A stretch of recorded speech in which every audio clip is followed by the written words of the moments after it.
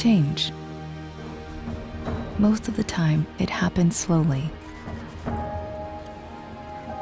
Most of the time. Sail with the number one cruise line in Alaska, Princess Cruises. Come back new.